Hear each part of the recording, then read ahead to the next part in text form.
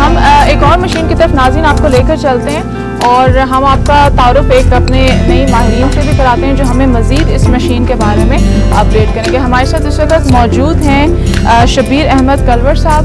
آپ principal engineer ہیں۔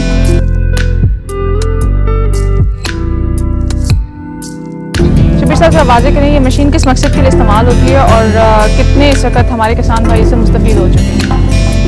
شکریہ ثانیہ۔ آپ دیکھ رہے ہیں اس کا نام، جیسے لکھا ہوا ہے، زیرو ٹلیج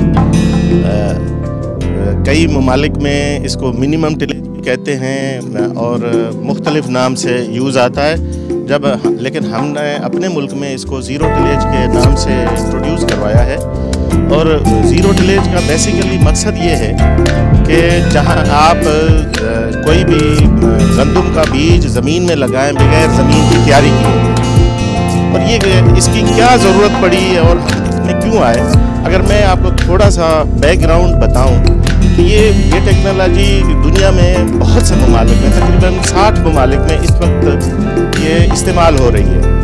اور کیونکہ ہمارا اریگیٹیڈ ایریا ہے لیکن زیادہ تر دنیا میں کیونکہ بارانی اور رین فیڈ کے حساب سے ہوتا ہے تو اس کا وہاں یوز زیادہ ہے۔ یہ مختلف ممالک میں مختلف مقاصد کے لیے استعمال ہوئی ہے۔ پاکستان میں اس کا کیا لیکن اگر جب ہم نے اس کو پاکستان میں اس کو اڈاپٹ کرنے کی کوشش کی ہمارے ہاں پرابلم تھا جو سب سے بڑا۔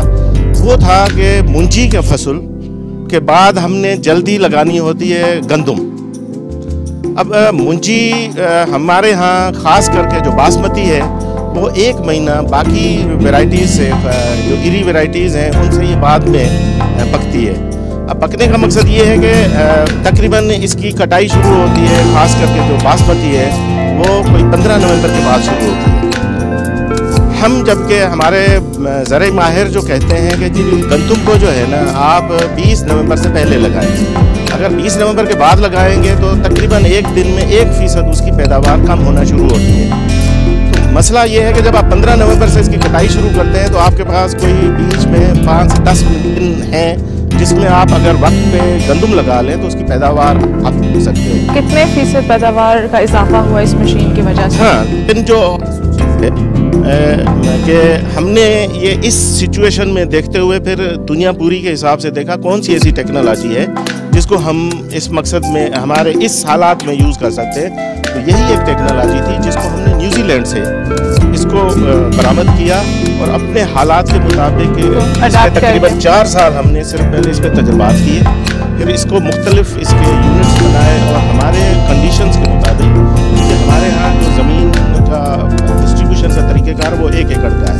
جبکہ بہت سے ممالک میں پانچ سو ایکڑ کا ایک یونٹ ہوتا ہے، تو اور ہمارے ہاں جو ٹریکٹر ہے، پچاس آس پاس کا ہوتا ہے، باہر جو ٹریکٹر ہے، تین سو، چار سو آس پاس ہوتے ہیں تو ہم نے اسی ڈرل کو اپنے حالات کے مطابق، اپنی کنڈیشن کے مطابق اس میں ہمارا تقریباً چھ سے سات سال لگا۔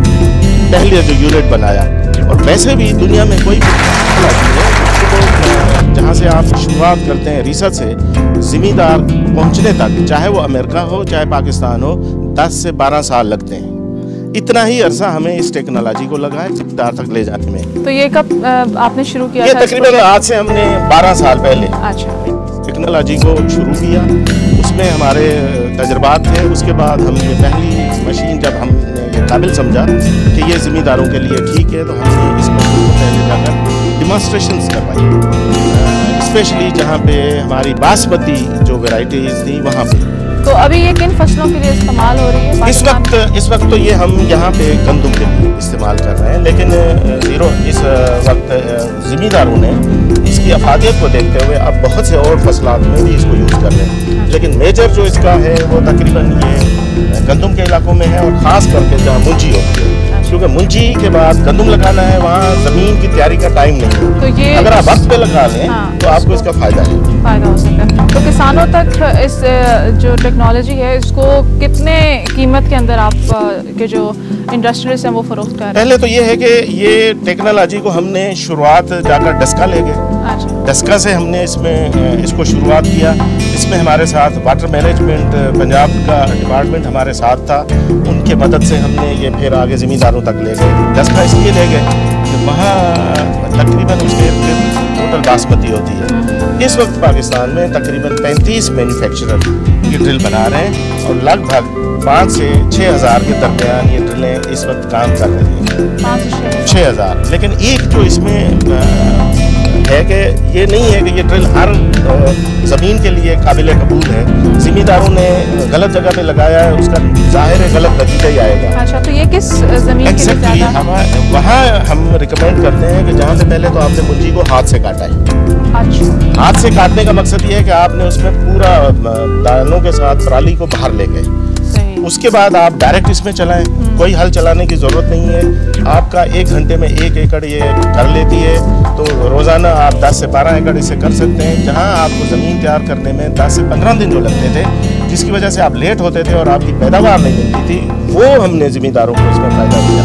یہاں تک کہ جہاں زمیندار نومبر میں دسمبر میں جا کر جو فصل لگاتے تھے اس کی پیداوار وہ بیس سے بائیس من سے کبھی نہیں انہوں نے زیادہ اٹھائی۔ اور اسی جگہ پہ انہی علاقوں میں جو ہم نے تجربات کیے اور ذمہ داروں کی زمینوں پہ کیے، جن ذمہ داروں نے بیس نومبر تک زیرو ٹلے سے لگایا ہے۔ انہوں نے جہاں پر تیس سے بائیس من لیتے تھے، وہاں انہوں نے پینتیس سے چالیس من تک پیداوار لیے صرف وقت کی وجہ سے اور لائن سوائنگ کی وجہ سے۔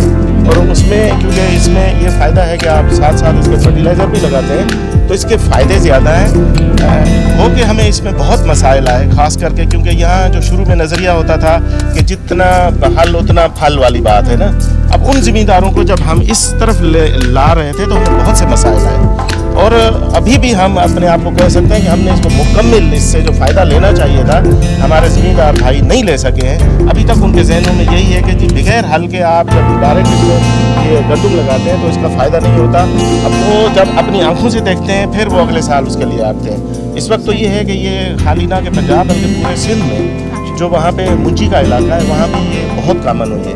پھر اب رائس سے، والی فیلڈ سے ہٹ کے اب یہ کاٹن میں اور باقی فصلات میں یا باقی زمینوں میں آپ اس کا استعمال صحیح ناظرین، ہم ایک اور مشین کی طرف چلتے ہیں جو ہم نے وہاں پر لوکیٹ کی ہوئی ہے۔